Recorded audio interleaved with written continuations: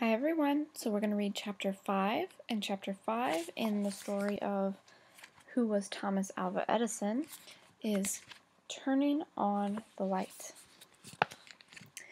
It was the summer of 1878. Tom had been working hard for a long time. He was thinking about taking a vacation. Then a friend invited him to join a group of scientists. They were traveling by train to Wyoming to see an eclipse of the sun. Tom decided to go. He had been working on a machine he called a tasimeter for measuring temperature. He saw the trip as a chance to try it out. Tom enjoyed talking to other scientists. After the eclipse, he, he and a friend traveled on together by train. It is said that Tom persuaded the train engineer to let him ride on the cow catcher, the metal grate on the front of the train. This way, Tom had the best view of the spectacular scenery.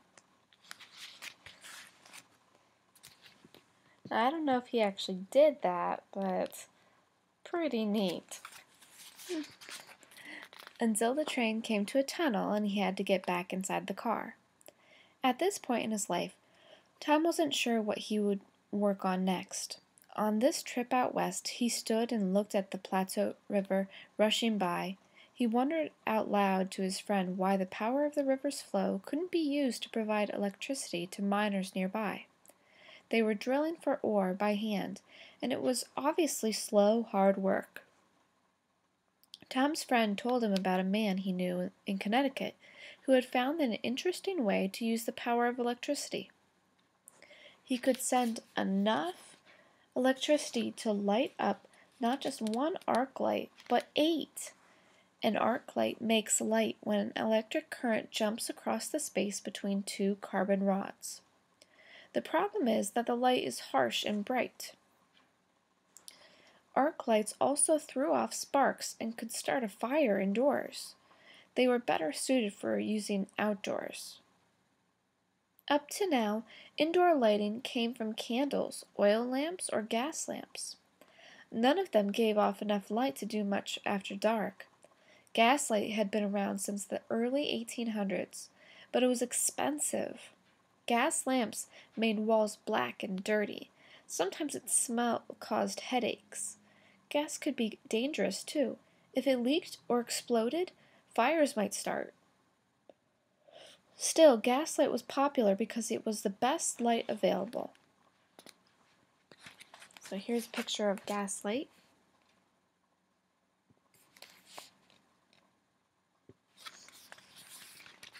In 1816, coal gas lamps lit up a street in Baltimore, Maryland. It was the first American street to have gas lights. Later lamps were used indoors. Natural gas comes right out of the ground. A well 27 feet deep was drilled in Fredonia, New York in 1820. General Lafayette, a hero of the American Revolution, visited and was served a dinner cooked on a gas stove in a room lit by gaslight. It was a marvel in the day. It could be found in homes, offices, factories, and outdoors, in larger towns and cities around the country. Tom was eager to see how the man in Connecticut was using electricity to light up his eight arc lights. He was surprised and interested to find out that the man was not using batteries, but a small generator made of magnet and coils of wire. Tom was very impressed with the eight arc lights, but he went home knowing that if he was to succeed with electric light, he had to develop a simple light bulb which gives off a bright, soft glow from a heated filament, or a material inside the bulb. This was known as incandescent lighting. Tom was all fired up to work on electric light.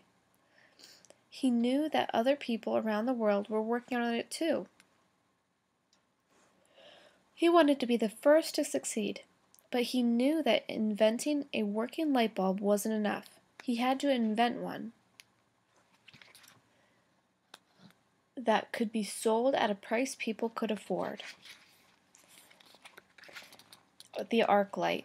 Light is produced when an arc of electricity jumps between two charged conductors. It was too bright, smelly, and expensive for use in homes and offices. So this is an arc light. So this is what the guy made eight of. This is the electricity.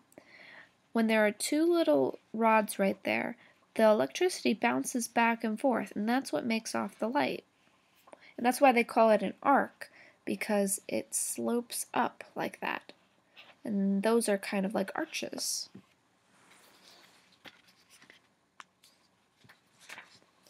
Tom also knew that he would have to figure out how to provide the electrical power to light up whole neighborhoods, whole cities, in fact, the whole country.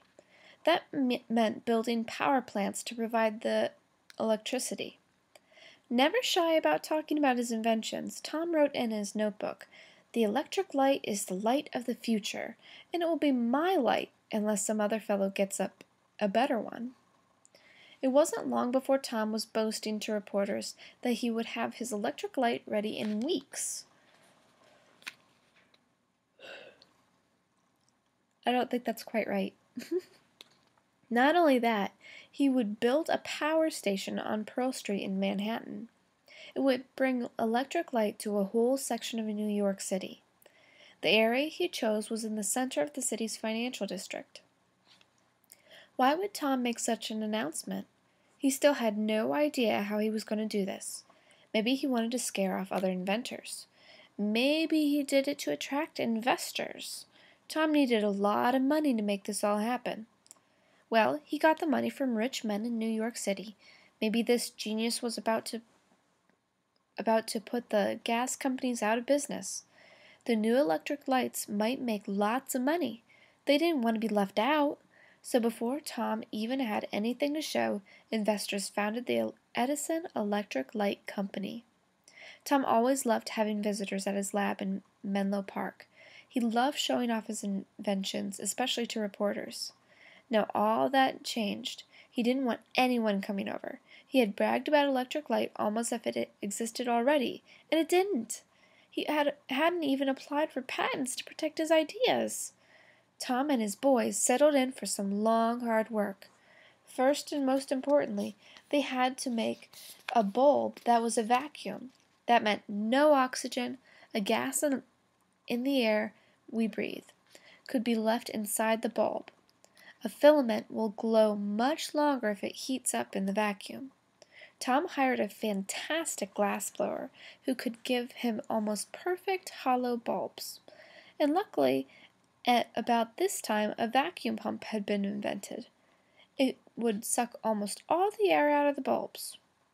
The hardest task turned out to be finding the right filament or material that would carry the electric current and glow for a long time inside the bulb. Next time you get to see a light bulb, check to see the stuff that's inside of it. When you're looking at a light bulb, it's not just a piece of glass. There's stuff inside. That's what he's talking about. The hardest task, uh, already read that. There were other problems too. The lights could not be wired in a series or one to the other along the same wire. Why? If one went out, they all did. Six weeks came and went. What about that neighborhood in New York, the one Tom said was going to be lit up? Newspapers began writing stories accusing Tom of bragging. Well, you know what? He was kind of bragging, wasn't he? Hmm. Tom was still searching for the right filament. He tried so many materials fish lime, bamboos, spiderwebs. Spiderwebs? Even the hair from one of his workers' heads. For a while he thought that platinum was going to work, but even if it had, it would be too expensive to use. So here are all the different things that he tried. And there's actually a much larger list than that. He tried a whole bunch of times. Sometimes Tom would take time to play a tune with two fingers on the organ he had put in the laboratory. That's the organ. Maybe it helped him think. The boys kept testing everything they could think of, over 3,000 materials. 3,000. That's 3,000 tries. When was the last time you did 3,000 tries at something? Think about that. What have you tried 3,000 times? Oh my goodness. But he tried 3,000 materials in all. Tom knew that finding out what did not work was as important as finding out what did. See, I like that. It's always good to figure out what doesn't work for us, because then it's easier for us to figure out what does work. A year and a half went by, nothing, but Tom did not give up, and one day he hit upon the answer. It was a simple sewing thread covered in carbon and baked to just the right temperature. On October 22nd, 1879, Tom's light bulb glowed for 13 and a half hours. The next one glowed for over a hundred hours.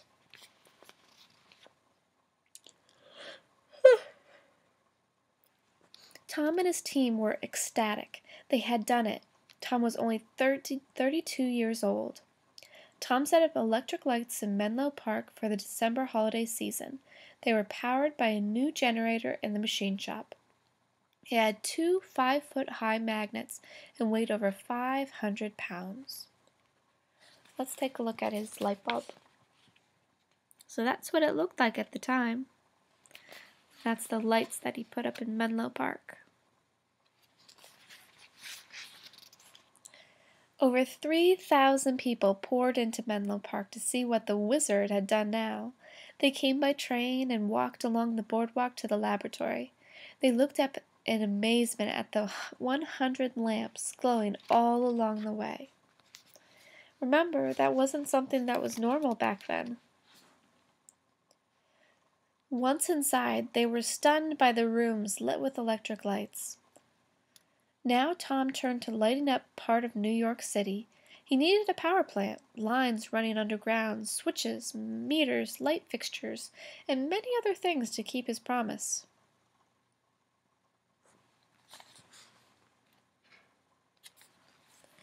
It would take another two and a half years, but on September 4th, 1882, at three o'clock in the afternoon, a switch was thrown at the central station on Pearl Street, in the Wall Street offices of one of his important investors.